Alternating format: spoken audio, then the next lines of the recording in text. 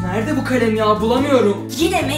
Sürekli aynı şey. Ne var ya alt tarafı bir kalem. Kalemin yoksa hiçbir şey yazamazsın. Hiçbir şey yazamazsam ders çalışamam. Ders çalışmazsan da sınavlardan kalırsın. Sınavlardan kalırsam da okulu bitiremem. Okulu bitiremezsen iş bulamazsın. İş bulamazsam parasız kalırım. E, parasız kalırsan da zayıflayıp çökersin. E, Ayrıca çirkinleşir. hem parasız hem çirkin olursam da evlenemem.